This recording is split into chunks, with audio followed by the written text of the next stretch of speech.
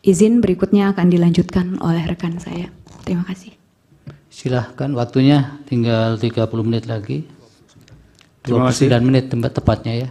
Terima kasih. Majelis Hakim yang mulia, sehubungan dengan pelanggaran prosedur pemilu yang terjadi dalam Pilpres 2024, pemohon membaginya menjadi dua bagian, yaitu satu, apakah Mahkamah Konstitusi berwenang untuk memeriksa pelanggaran prosedur pemilu yang terjadi dalam Pilpres 2024? Kedua, apa bentuk pelanggaran prosedur pemilu yang terjadi dalam Pilpres 2024? Pertanyaan pertama yang akan pemohon jawab sehubungan dengan pelanggaran prosedur pemilu yang terjadi dalam Pilpres 2024 adalah Apakah Mahkamah Konstitusi berwenang untuk memeriksa pelanggaran prosedur yang terjadi dalam Pilpres 2024? Pelanggaran prosedur pemilu mengancam jiwa demokrasi dan konstitusionalisme Indonesia. Dan karenanya, pelanggaran ini haruslah bisa dijadikan dasar untuk menilai keabsahan hasil pemilu. Pernyataan ini didukung oleh dua alasan, yaitu yang pertama, kriteria pelanggaran TSM tidak dihadirkan untuk dijadikan satu-satunya alasan yang dapat menilai keabsahan hasil pemilu. Kriteria TSM kali pertama muncul dalam putusan nomor 41 PHPU tahun 2008 sebagai terobosan guna menghidupkan nilai-nilai demokrasi di Indonesia yang masih dilanda dengan maraknya pelanggaran. Sehingga yang menjadi fokus utama adalah keadilan substansialnya. Kini, 15 tahun dari putusan Mahkamah Konstitusi tersebut, apakah kriteria pelanggaran TSM masih cukup untuk memastikan pemilu yang bermartabat, berintegritas, dan adil? Jawabannya tentu tidak. Karena masih ada pelanggaran-pelanggaran lain yang mengancam jiwa demokrasi dan konstitusionalisme Indonesia. Yang kedua, penyelesaian pelanggaran yang terbatas hanya pada TSM akan menciptakan banalitas degradasi pemilu dan demokrasi di Indonesia. Pembiaran terhadap pelanggaran akan memberikan insentif untuk dilakukannya pelanggaran yang lebih besar, sebagaimana telah ditunjukkan dalam kajian-kajian, baik di dalam maupun di luar negeri. Banalitas politik ini akan melunturkan nilai-nilai demokrasi dan konstitusionalisme yang menjadi cita-cita reformasi bangsa Indonesia. Pemilu tidak lagi menjadi pesta demokrasi, namun pesta kontestasi. Sebagaimana telah diuraikan sebelumnya, oleh karena lembaga penyelenggara pemilu yang ada tidak dapat menangani pelanggaran prosedur pemilu ini secara efektif, maka sudah barang tentu Mahkamah Konstitusi harus mengambil peran aktif untuk dapat memeriksa serta mengadilinya. Pertanyaan kedua yang akan pemohon jawab sehubungan dengan pelanggaran prosedur pemilu yang terjadi dalam Pilpres 2024 adalah apa bentuk pelanggaran prosedur yang terjadi dalam Pilpres 2024? Pilpres 2024 dipenuhi dengan pelanggaran prosedural pemilu di seluruh wilayah Indonesia. Yang semuanya tentu memunculkan keraguan mengenai hasil dari Pilpres 2024 dan bahkan menimbulkan gejolak sosial di masyarakat. Pelanggaran yang terjadi berdasarkan lini masa pelaksanaan Pilpres 2024 adalah sebagai berikut. Satu, pelanggaran sebelum hari pemungutan suara yang tentunya dimulai dengan penerimaan pendaftaran paslon 2 oleh termohon yang jelas tidak memenuhi syarat dalam peraturan KPU nomor 19 tahun 2023 maupun adanya kejanggalan dan kesalahan data dalam DPT. Kedua, pelanggaran pada hari pemungutan suara dapat dibagi menjadi dua, yaitu pada tahap pemungutan suara dan tahapan penghitungan suara. Dalam tahapan pemungutan suara, beberapa pelanggaran yang terjadi adalah antara lain A. ketidaksesuaian jadwal pemungutan suara di 37.466 TPS sebagaimana dicatat oleh Bawaslu. B. Kekurangan dan kelebihan suara di 10.496 TPS sebagaimana dicatat oleh Bawaslu maupun pelanggaran yang dicatat sendiri oleh pemohon antara lain. Surat suara yang diterima TPS melebihi jumlah DPT tambah 2% terjadi di 35 provinsi di Indonesia. Dan surat suara yang diterima TPS kurang dari jumlah DPT tambah 2% merupakan pelanggaran yang terjadi di 27 provinsi di Indonesia. C.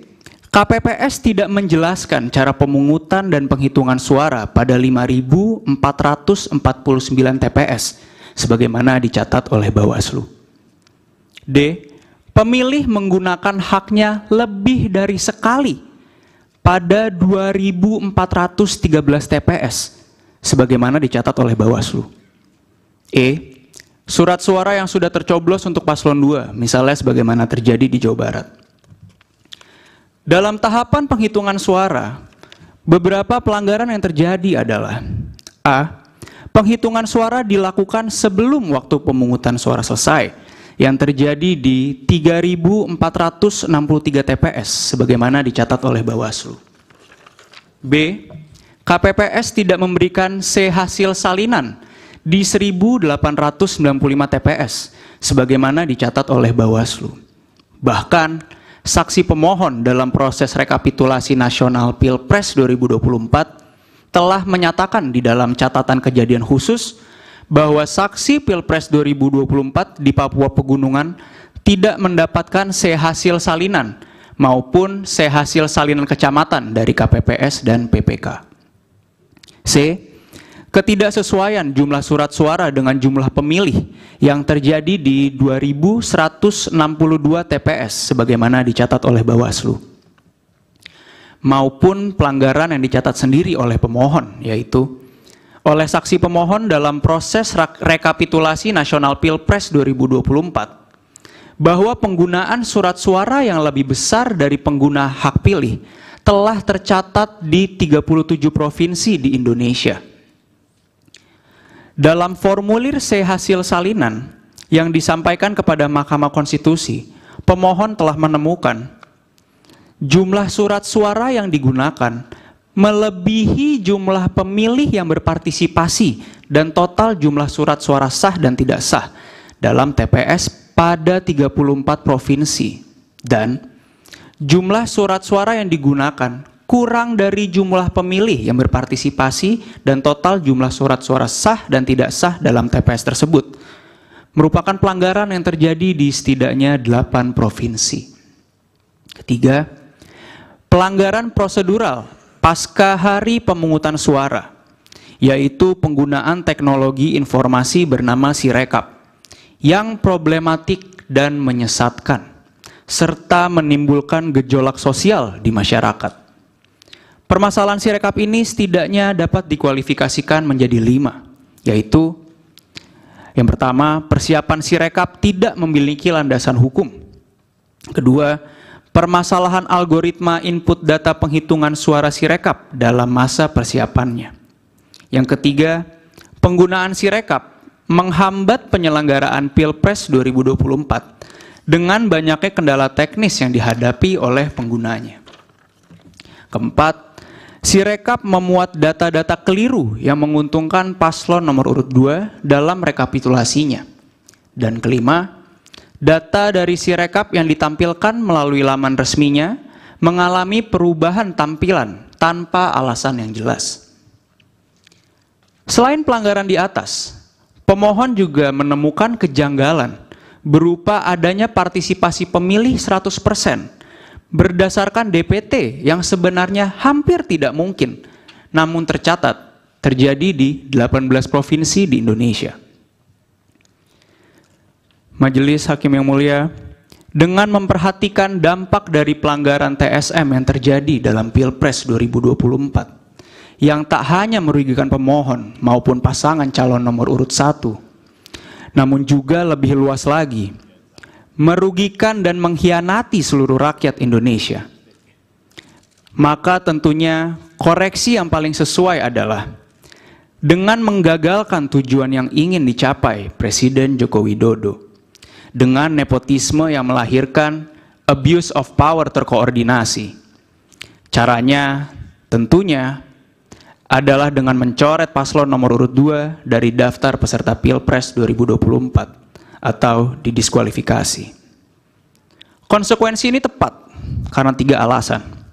Yang pertama, secara faktual, paslon nomor urut 2 tidak akan diterima sebagai peserta pemilu tanpa nepotisme dan tanpa pelanggaran etika.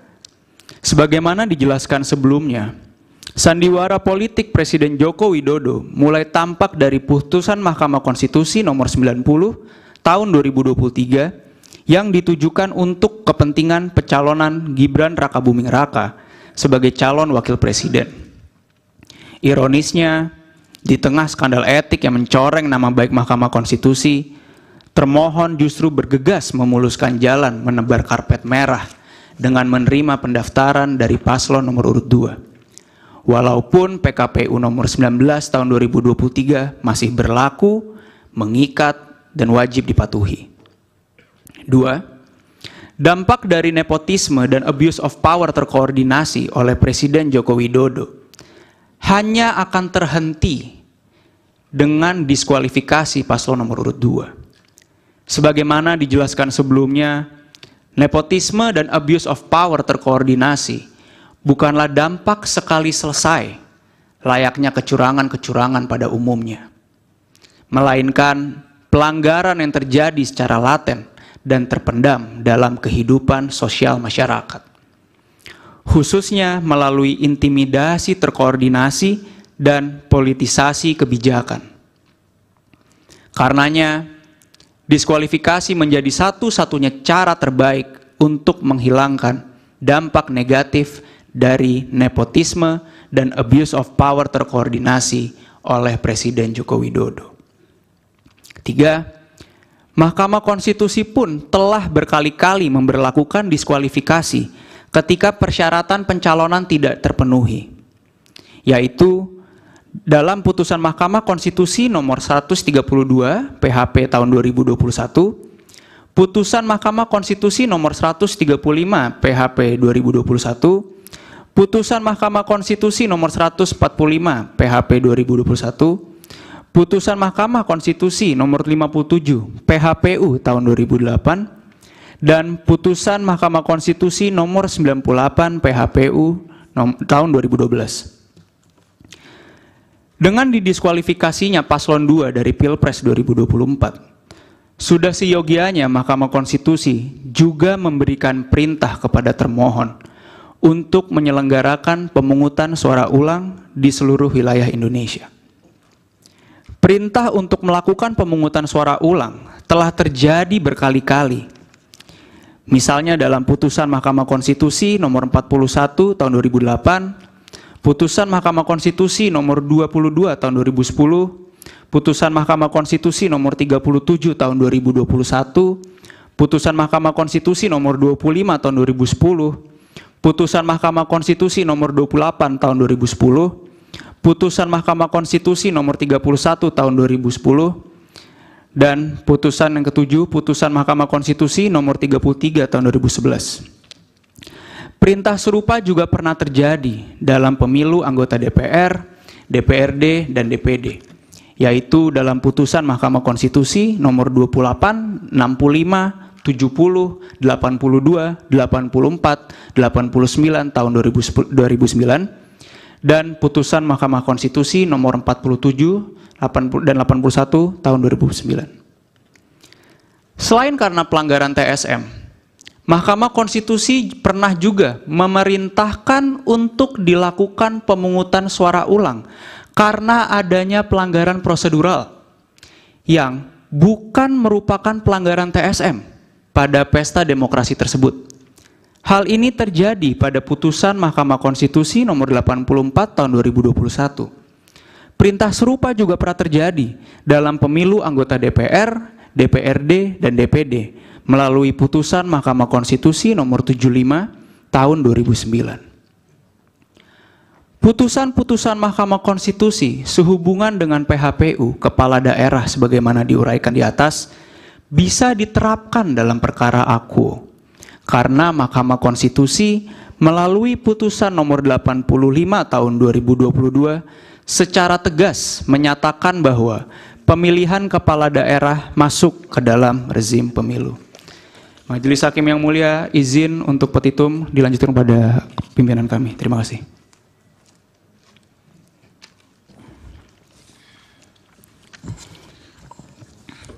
Majelis Hakim Konstitusi yang kami muliakan. Setelah semua uraian-uraian yang disampaikan oleh koleha kami, permohonan PHPU kami